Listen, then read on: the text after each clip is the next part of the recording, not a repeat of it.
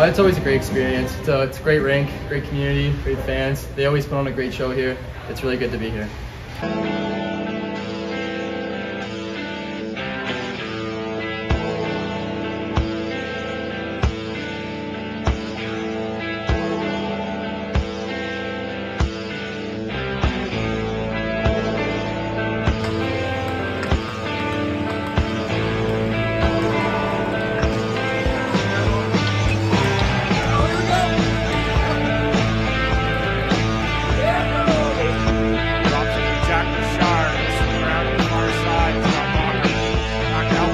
Jack Richard. Backdoor scores!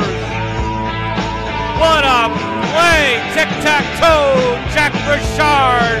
And the Cougars are on the board. Cash. Out in front. Henderson scores! With one second left on the power play. Brett Henderson gets his first as a Cougar against his former mates. Here's Jax Bellwood now. Bellwood coming in, quick shot, and he scores! Bellwood, and this game is tied. Scott Walker with them, and Burleson in the slot, and he scores! Eric Burleson, and the Cougars have scored back and taken a 4-3 lead. Skate in front and they score!